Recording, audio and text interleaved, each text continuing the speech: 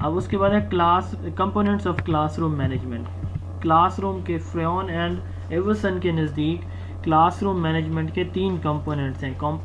Content management दूसरा है conduct management और तीसरा है कोविनेंट मैनेजमेंट कंटेंट मैनेजमेंट से मुराद क्या है कि जो आपने lecture lesson presentation topic deliver करना है तो उसको आप उसकी प्रॉपर प्लानिंग करें, फिर आप उसके लिए रेलिवेंट मटेरियल सेलेक्ट करें फिर रिसोर्स यानी एड्स हैं, कोई चार्ट्स मैप्स ग्लोब जो कुछ आपने यूज़ करने A V aids teaching aids वो यूज़ करें। एक्टिविटीज़ आपकी प्रॉपर और रेलिवेंट टू दैट कंटेंट होनी चाहिए, ठीक है? आपका जो करिकुला है और आपके जो लर्निंग ऑब्जेक्टिव्स हैं, वो भी अलाइन करें। यानी उनके अंदर भी एक कोहेरेंस मौजूद हो। तो कंटेंट मैनेजमेंट से मुराद ये है कि क्लास में जो पढ़ाया जा, जाना है ना तो उसको प्रॉपर ऑर्गेनाइज किया जाए, उसके लिए प्रॉपर प्रिपरेशन की जाए।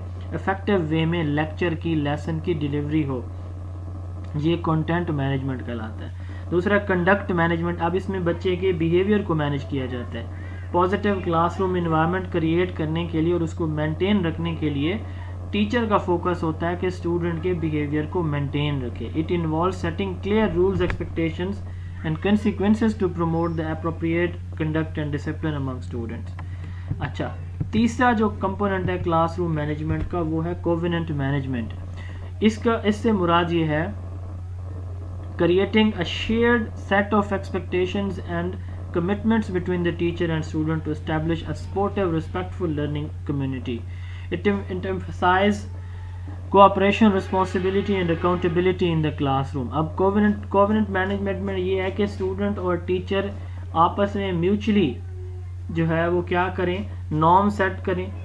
ठीक है?